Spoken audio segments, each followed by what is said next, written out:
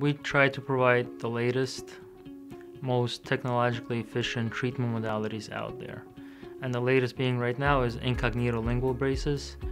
Um, those are the braces that go behind the teeth. Not a lot of orthodontists use it, but I do want to offer it to my patients because if the patients are very aesthetically driven, I want them to have every single option available out there in order to get their teeth from point A to point Z in whichever matter they want. We do offer Invisalign, clear, ceramic braces, and whatever the gamut of orthodontia there is out there, I try to use and keep up to date with everything.